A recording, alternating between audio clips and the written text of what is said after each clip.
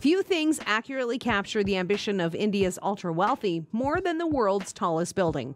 In 2005, Indian industrialist Bavaguthu Raghuram Shetty, a resident of the United Arab Emirates, paid 45 million dirhams, which is about $12.25 million, to buy the entire 100th floor of the 828 meter high Burj Khalifa, a Dubai skyscraper twice the height of New York's Empire State Building. Most of us will never see that kind of money in our lives, but it was just another transaction for the 80 year old Indian who owns and controls a healthcare and foreign exchange empire.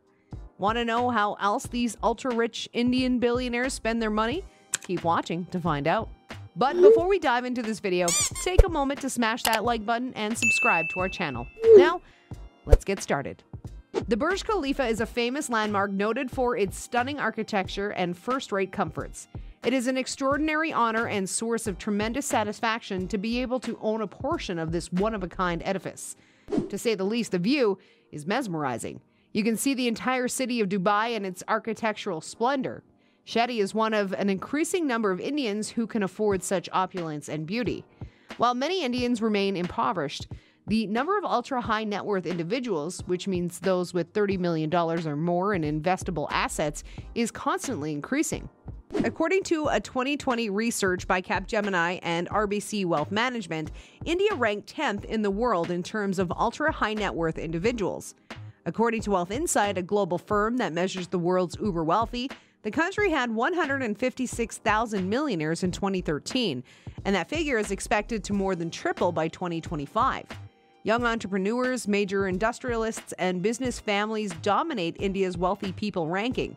The wealth of these folks is multiplying, mostly because of rising equity market capitalization, consumerism, and real estate values. According to Wealth Insight, the combined wealth of India's richest expanded by 44% between 2014 and 2018, reaching about 2 trillion by the conclusion of that 4-year period.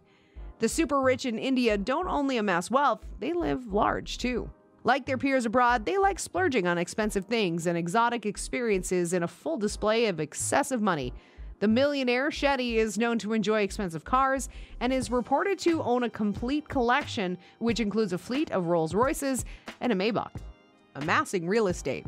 If you look closely at any high end purchase of real estate, you may notice the hand of an Indian investor. According to research, India's ultra rich have about 44% of their net worth invested in real estate. According to Dubai Land Department statistics, Indians are the top foreign buyers of Dubai's architectural marvels, including the towering Burj Khalifa. They make up a big portion of their internal investors. India is only four hours away, so the physical proximity, the sizable Indian population in the region, and the strong trade relations between the UAE and India are the factors that drive this massive investment in luxury real estate development factors.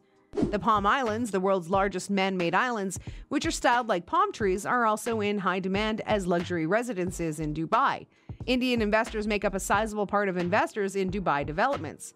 Their holdings cover an extensive variety of homes, from luxury waterfront villas to mid range accommodations in high end Dubai neighborhoods. According to Wetherell, an estate agent that specializes in Mayfair properties, Indians are the largest group of overseas buyers in London's elite residential neighborhoods, such as Mayfair, accounting for 25% of all purchases. According to the agency, Indians are second only to British buyers and far ahead of Asian and continental European customers. These billionaires also own more land in the UK than Russia and Middle Eastern buyers. India's super wealthy class spent about $703 million in 2023 on 221 residential homes in central London, including Mayfair, St. John's Wood, and Belgravia.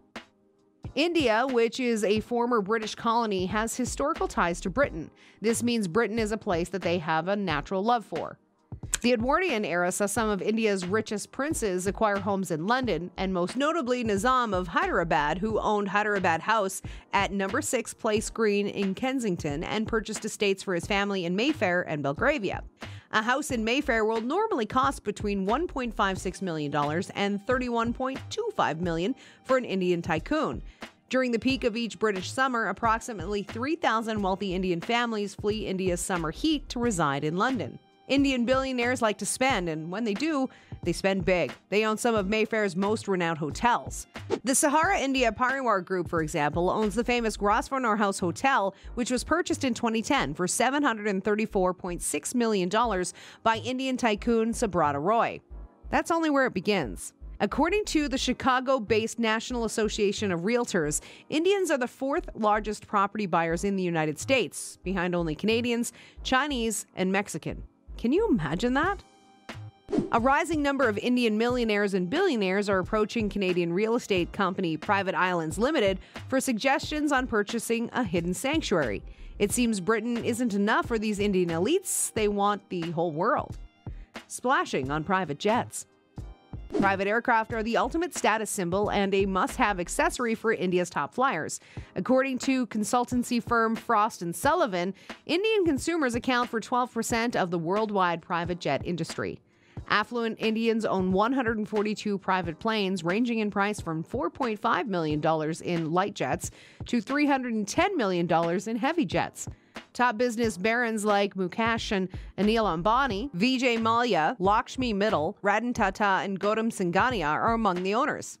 Bombardier, a Canadian business jet manufacturer, aims to deliver 1,215 planes to India between 2014 and 2033. The present generation of Indian billionaires knows the importance of owning a private plane. Time is extremely valuable to those ultra high net worth individuals. A private aircraft also provides them the privacy and freedom to choose their own routines. Luxurious yachts.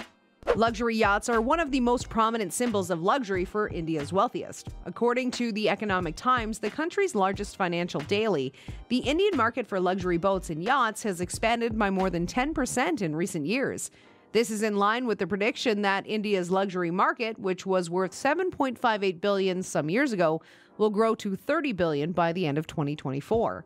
Yet, due to insufficient infrastructure in India, many wealthy Indians are forced to dock their super yachts in foreign marinas, such as those in the UAE and around the Mediterranean Sea. The $90 million Indian Empress, owned by Indian business billionaire Vijay Mallya of the UB Group and Kingfisher Airlines, is one such yacht. It's one of the world's largest yachts, measuring 312 feet, and is used for post Grand Prix cocktail parties by Mallya, who also owns the Force India Formula One team. Around 70% of Indian yachts are based in the Mediterranean, with the remainder in Goa and the Andaman Islands. While we won't call names, the majority of these yacht owners are in their mid 30s to 50s and own their own businesses. That goes to show you just how many of India's wealthy are secretly living large. Wouldn't you like to be one of them? Holiday travel abroad. Indians like to travel, regardless of their class, but the wealthy ones do it with style. Bavaguthu Raghuram Shetty, like the other members of his exclusive society, works very hard but enjoys taking a break from his demanding schedule by traveling to Switzerland, Austria, and other regions of the world where natural beauty abounds. Nikhil Ganju, country manager of the travel booking website TripAdvisor India, stated that there had been an upsurge in Indians preferring to spend their vacations overseas. 75% of Indians plan to travel overseas in 2022, a 21% increase from 2015. According to a survey by Kotak Wealth Management and Ernst Young, over half of India's wealthiest take up to 3 luxury trips every year, with each spending more than $40,000 on relaxation alone. While Dubai and Singapore are still attractive as flashy shopping destinations, many people prefer to spend their vacations in the Mediterranean or the Caribbean. Collecting fine wine. Fine wine is capturing an increasing share of India's disposable income. While some of these high priced purchases are for personal consumption, many Indians are investing in excellent wines such as Chateau Lafite Rothschild, Chateau Petrus, Chateau Haut-Brion, and Chateau Cheval Blanc as a hedge against paper based assets. The number of Indians investing in high end fine wines has increased significantly. To give you an idea of how pricey these wines can be, Prices per case, depending on the vintage, can range between $12,300 to $123,000. Fine wine is growing more popular as a drink in India, and large hotels are beginning to import more high quality wines. Indian clientele comes from a variety of backgrounds, including business moguls, athletes, and entertainment icons. Some of them have more than $20 million in foreign investments. Indian investors are extremely cautious and demanding, with a keen eye for detail. They are savvy business people who seize golden possibilities like investing in rare wines with both hands. With the growing demand, wine enthusiasts in India are establishing high end wineries to manufacture super premium wines. Celebrities such as Indian born, US based former tennis legend Vijay Amritraj, who created his own wine label, the Vijay Amritraj Reserve Collection in India, are drawn to the fragrance of a developing market. These ultra rich love to find more ways to increase the wealth they already have. We can't blame them though. Once you have tasted the sweet life, you will only end up wanting more. So, what do you think about this billionaire's lifestyle? What would you spend your money on when you become a billionaire? Let us know in the comments. See you next time.